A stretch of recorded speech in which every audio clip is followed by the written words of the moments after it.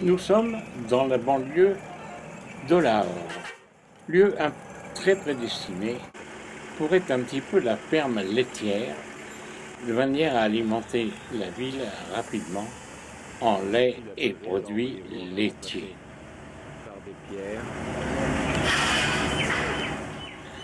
Et sous nos yeux, nous voyons paître quelques vaches, quelques chèvres, permettant d'alimenter, comme je vous l'ai dit précédemment, la ville en produits laitiers.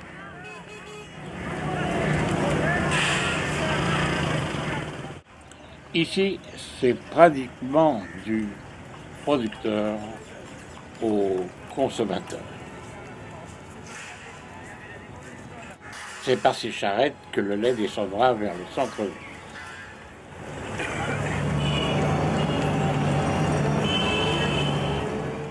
Redescendu en ville, nous sommes dans le vieux quartier de la ville de Lahore.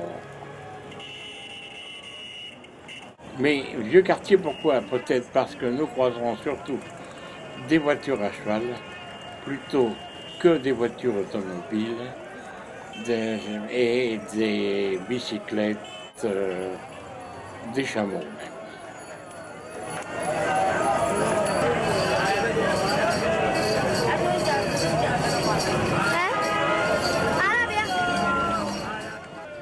Quartier très animé, comme vous pouvez en juger, avec différents commerçants, et avec différents produits, et tout d'une grande fraîcheur.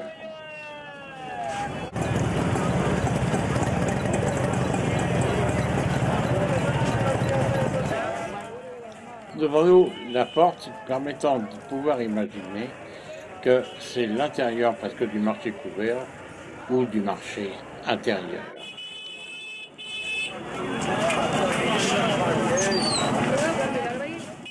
Même au Pakistan, pour se désaltérer, comme vous pouvez voir, on boit du Coca-Cola.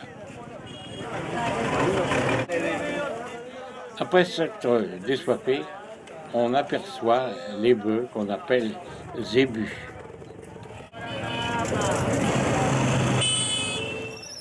Des charrettes tirées par des dromadaires.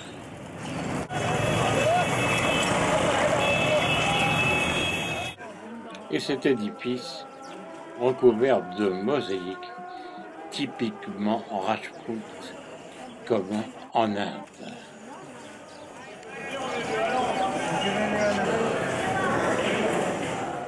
En cet endroit, on évite toute la pollution. Voilà une manière anti-pollution pour couper l'herbe sur une pelouse. Surtout au jardin de Chalinard, où nous sommes maintenant.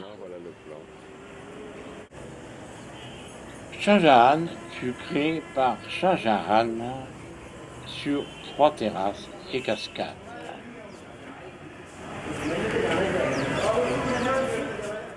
Puisqu'à une certaine époque, Lahore et Chalimar, évidemment, se trouvaient être un peu une capitale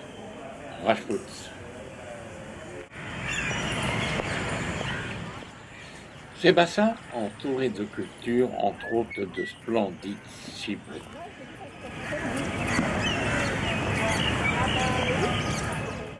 Dans le temps, il y avait trois bassins réservés d'eau pour alimenter ces jardins. Aujourd'hui, il n'en reste plus que deux, compte tenu de l'évolution moderne de la vie.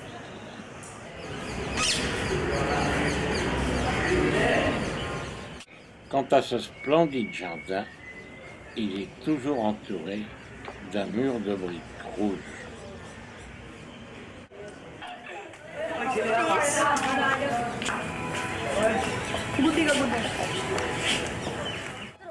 Et depuis notre visite, a été classé par l'UNESCO.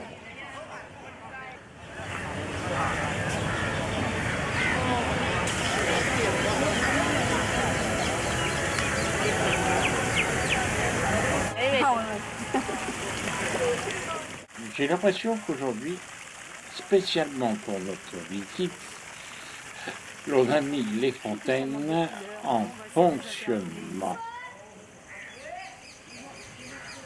afin de faire revivre l'époque rajouter. De jolies fleurs s'épanouissent toujours dans ces jardins et derrière le fond musical, c'est le chant des corbeaux.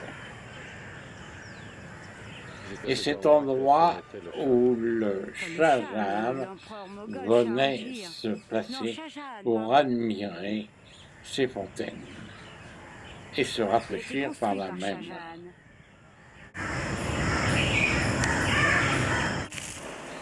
Tout à fait différent au retour à notre hôtel, vous pouvez voir ce que peut être une mousson au Pakistan, tout comme en Inde. Incroyable.